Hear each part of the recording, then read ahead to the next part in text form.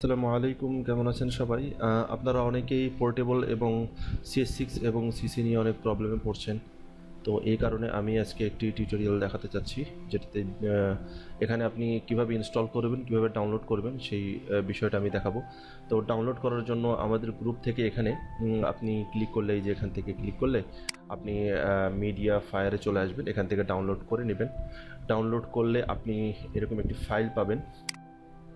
এই যে দেখুন, এরকম।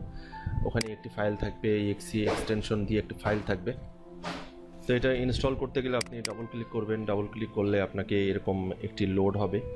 আপনাকে খুবই সিম্পল যেরকম যে কোনো সফটওয়্যার ইনস্টল দিতে হয়, এখান থেকে ল্যাঙ্গুয়েজ সিলেক্ট করে দিয়ে দেন এখান থেকে নেক্সট তারপরে এগ্রি দেন এখান থেকে আপনি শুধু সিলেক্ট করবেন হচ্ছে আপনার যে, আপনি কোন বিট ইউজ করছেন সিক্সটি ফোর না থার্টি টু যে, যেটা আপনার ভালো লাগে সেটা আপনি এখান থেকে টিক দিয়ে আপনি নেক্সট ক্লিক করলে ইনস্টলটি হয়ে যাবে। যখনই আপনি ইনস্টল হয়ে যাবে, তখন আপনার এরকমটি দেখাবে। তখন আপনার এরকম ইনস্টল হওয়ার সাথে এই ফাইলটার সাথে আরেকটা ফোল্ডার অটোমেটিকলি অ্যাড হয়ে যাবে। আর যখনই একটা ফোল্ডার অটোমেটিকলি অ্যাড হয়ে যাবে, তখন এটা ডাবল ক্লিক করবেন। করার পরে দেখবেন এখান থেকে অ্যাডোবি ইলিস্ট্রেটর পোর্টেবল এই অপশনটা চলে আসছে। আপনি এখন করবেন কি? রাইট ক্লিক করবেন। করার পরে সেন্ড টু ডেস্কটপ শর্টকাট তার মানে এখন আপনি ডেস্কটপে যখন যাবেন, তখন আপনি দেখতে পারবেন যে আপনার ডেস্কটপে ডেস্কটপে ওই ফাইলটি থাকবে। আমি দেখাচ্ছি, দেখাচ্ছে যে এখানে রয়েছে। আপনি জাস্ট এখানে ডাবল ক্লিক করবেন।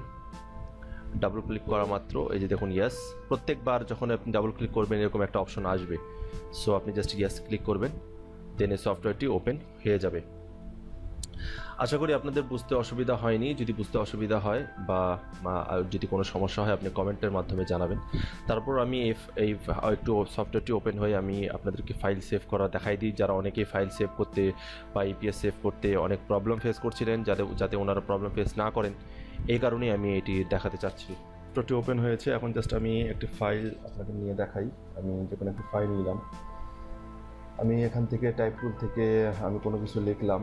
লেখার পরে জাস্ট এটাকে সেভ করব আমি। সেভ দিয়ে আমি যে কোনো কিছু ফাইলের নেম দিয়ে এই যে এখান থেকে এআই ফাইল দেখতে পাচ্ছেন, আমি এখান থেকে সেভ করলাম। সিসি সিলেক্ট করাই আছে জাস্ট ওকে তো দেখুন ফাইলটা কিন্তু সেভ হয়ে গেছে অলরেডি দেখুন, এখানে নাম চলে আসছে। এখন আরেকটা আমি ইপিএস ফাইল সেভ করব, তো আমি আবার সেভ অ্যাজে যাচ্ছি। সেভ অ্যাজে গিয়ে এখান থেকে আমি ইপিএস ফাইল লিখলাম এখান থেকেও আমি অন্য কিছু লিখলাম যে কোনো। দিয়ে আমি এখান থেকে সেভ দিলাম। ইপিএস এখানে সিসি দেওয়াই আছে জাস্ট এখানে ওকে ক্লিক করব লোড সেভ হয়ে গেল। তো আশা করি এখন আপনাদের আর কোনো সমস্যা হবে না। আর এখন থেকে যে টিউটোরিয়ালগুলো করা হবে, সেটা সব সিসিতে হবে এবং থ্রি ডি টিউটোরিয়াল আসছে।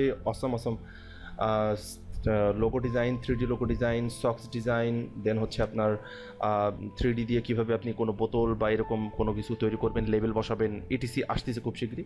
আশা করি আপনারা আমাদের, আমার সাথে থাকবেন। ধন্যবাদ।